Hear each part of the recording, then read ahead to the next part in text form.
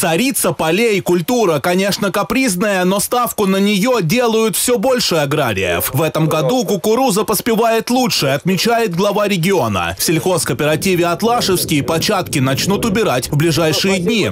Сельхозтоваропроизводители по своей инициативе, кто занимается животноводством, выращивает, убирает на силос, на зерно, для того, чтобы этим энергетическим кормом кормить животных. Потому что продуктивные, качественные показатели намного лучше получаются. Вот это самый главный подход у земледельца, сельхозтоваропроизводителя. Красота же! Корма высокого качества необходимы быкам Герефордам. Эту породу разводят для того, чтобы получить мраморное мясо. У агрофирмы далеко идущие планы. За последние полгода здесь увеличилось поголовье коров. Чтобы развивать молочное дело, возводят новую ферму. Инвестиционный проект поддержали в Минсельхозе региона. На сегодняшний день в Чувашской республике реализуется 75 проектов. 42 проекта из них это в животноводстве, 22 проекта крестьянско-фермерскими хозяйствами в том числе, да, и 20 проектов крупными сельхозорганизациями, как, например, Атлашевский. Построить одно скотоместо стоит примерно 104 тысячи рублей.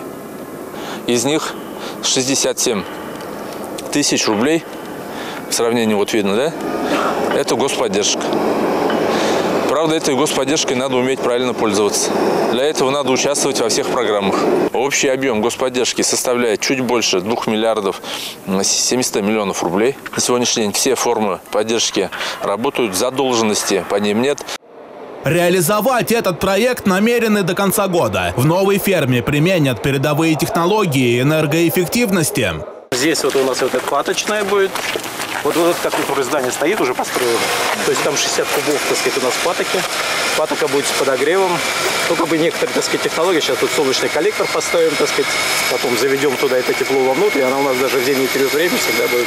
Прекрасный объект. Так внешне уже хорошо смотрится.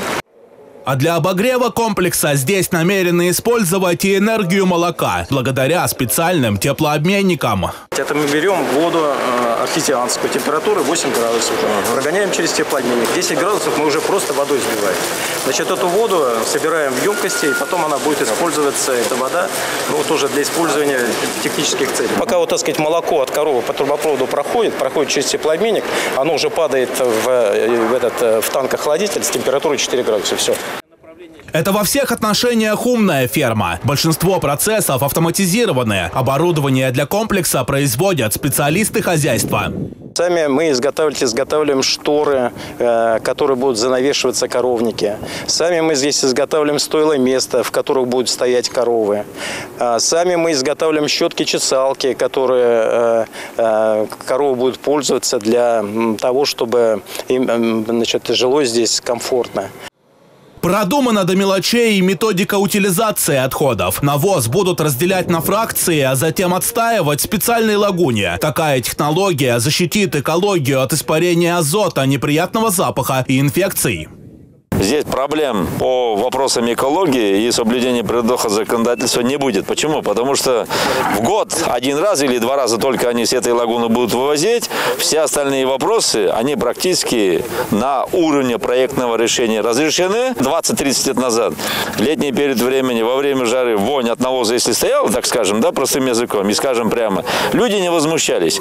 Сегодня требования людей другие, запросы людей другие, качество жизни меняется меняется, и мы должны соответствовать этим требованиям. Благодаря поддержке правительства в муниципалитете развивается и бизнес. На этом заводе по выпуску перчаток годовой оборот превышает 150 миллионов рублей. География поставок увеличивается. Нравится наша продукция и стараются работать. Руки набили вам, женщины? Да, они у нас молодцы. Они большие молодцы. 90% сотрудников со дня открытия работают вместе с нами. Мы их, благодаря им мы и двигаемся вперед. В районе ожидают притока инвестиций и разрабатывают проект муниципального технопарка. Перспективы обсудили на рабочей встрече. Учитывая наше расположение, очень хорошая здесь трасса М7, логистическая. Сегодня в этом проекте, который вот презентацию провел, у нас уже четыре контрагента, которые готовы сегодня инвестировать. А одна компания, это вот я когда начал реализовывать там свои производственные базы потихонечку по кускам, а, зашли, а, мебельщик, это компания Ненева Кухня. Они сегодня уже производят продукцию больше, чем на 150 миллионов. Мы у вас попросим для перевода наличие средств на реализацию данного проекта, чтобы мы понимали, что финансовые средства на реализацию данного проекта у вас имеются. На контроле у главы региона и подготовка к отопительному сезону. В одном из крупных населенных пунктов муниципалитета Атлашева недавно была возведена новая котельная, что решило проблему с подачей горячей воды. Но чтобы поселок стал более комфортным, необходимо избавиться от вот таких вывесок. Облик улиц это не украшает, отметил Михаил Игнатьев, Дмитрий Ковалев и Бахтияр Велиев. Республика. Работа по рекультивации Пихтулинской свалки близится к завершению. Сегодня на объекте побывали председатель Кабинета министров Республики Иван Моторин, представители Министерства природных ресурсов, подрядных организаций и наша съемочная группа. Здесь уже мало что напоминает о Пихтулинской свалке. Я стою на самой высокой точке полигона. Под моими ногами 50 метров высоту утрамбованных твердых бытовых отходов. Они прикрыты глиной, щебнем и геомембраной, которая защищает тело полигона от попадания осадков. Также уложен геотекстиль для укрепления конструкции. Газодренажные прослойки из щебня толщиной 20 сантиметров. Это классическая схема рекультивации свалки, которой пользуются и в других регионах страны. Остались виды работ, э, скажем так, газодренажные вытяжки, это которые отвод газов будет производиться на верхушке тела свалки. Это вентиляция, да? Э, Вентиляция, да, скажем такое. Э, Дальше осталось водосброс. Водосброс – это от отстойника пруда, который от фильтрата вода, которая собирается на подошве свалки – и она сбрасывается по трубопроводам на центральный коллектор, который будет уходить на очистные сооружения БОС, биологическое сооружение Новочебоксар. Вот-вот начнут прокладывать эксплуатационную дорогу, по которой к кургану будут добираться специалисты для проверки различных систем. Ну и осталось навести красоту, постелить растительный слой грунта и посеять многолетние травы. Задача стоит до конца ноября полностью выполнить контракт. Э, по заверениям подрядной организации сегодня сдерживающих моментов нет. То есть все проектные решения сделаны, экспертиза имеется. Э, те разногласия, которые были по стоимости работ, по расстоянию вывоза груза из Чебоксарского района, все они решены. И ничто не сдерживает работу на объекте. Тело свалки герметично закрыто. В течение трех лет специалисты будут мониторить состояние воздуха в санитарной зоне. По такой же технологии к концу года должны завершить рекультивацию свалки Вильбешева Чебоксарского района. На очереди Яльчики, Аликова, Канаш. Татьяна Трофимова, Борис Андреев, Республика. Федеральная программа «Безопасные и качественные дороги» дала свои результаты. Ездить по столице республики стало комфортно. Чтобы комфортно было и ходить, в Чебоксарах до конца сентября должны отремонтировать 21 тротуар. Один из них вдоль улицы Афанасьева. Галина и Егор рассказывают, раньше прогулка с велосипедом напоминала маунтинбайк – езду с препятствиями по пересеченной местности. Новый тротуар они очень ждут. Пандусов не было, было очень все сломано. А сейчас вот смотрим, ходим, очень все хорошо делают ответственно. Сейчас хорошо будем кататься на велосипедике. Почему? Потому что залит асфальт. В этом году на ремонт тротуаров в городе выделили 20 миллионов рублей. А в этом году мы э, сознательно, скажем так, э, адреса выбрали, исходя из э, реализации программ безопасной и качественной дороги и других программ, в которых выполняется ремонт дорог, чтобы был более законченный вид. То есть в прошлом году у нас такого не было, тротуары мы делали отдельно от программ э, федеральных. В следующем году такая практика, когда тротуары ремонтируют параллельно с проездами, продолжится. Но уже в рамках федеральной программы «Безопасные качественные автомобильные дороги». Она станет логическим продолжением нынешней программы БКД. Кроме ремонта тротуаров, в нее включили разметку и освещение. Ольга Пырочкина, Борис Андреев, Республика. Чуваши подвели итоги летней оздоровительной кампании. Ее бюджет превысил 470 миллионов рублей. А в загородных лагерях отдохнуть смогли более 16,5 тысяч детей. В летний период проведено 13 профильных смен. Кроме того, функционировали 378 организаций дневного пребывания. 350 детей прошли интенсивные образовательные курсы летние квантникулы в детском технопарке «Кванториум». По сведениям Роспотребнадзора, в период работы детских лагерей не было зарегистрировано массовых инфекционных, групповых заболеваний, пищевых отравлений. 95% отдохнувших получили выраженный оздоровительный эффект. А у кадет лето еще продолжается. Учащиеся младших классов Чувашского кадетского корпуса сейчас находятся на сборах в Крыму. Старшеклассники в Пермском крае. Участие кадет в сборах профинансировано из бюджета республики. Перелет в Крым оплачен из благотворительного фонда «Ренова». Сегодня мы связались с руководителем поездки Александром Чумаковым.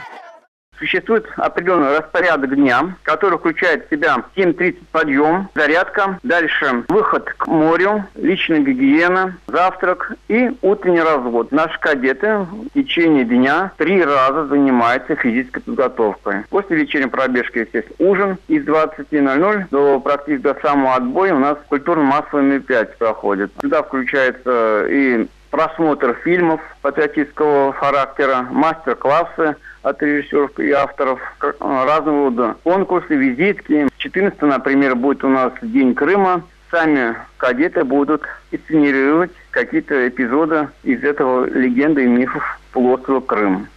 К 21 сентября все ребята вернутся в Чебоксары и продолжат обучение уже в стенах Чувашского кадетского корпуса имени Кочетова.